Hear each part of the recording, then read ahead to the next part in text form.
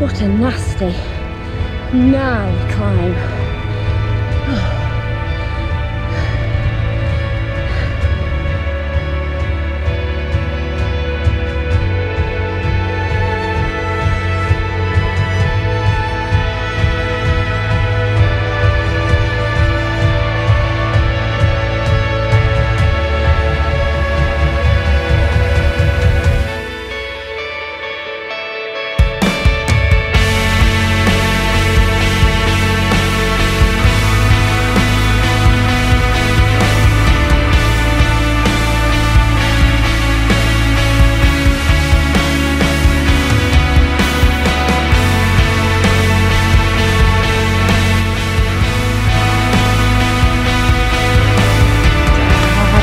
The midges.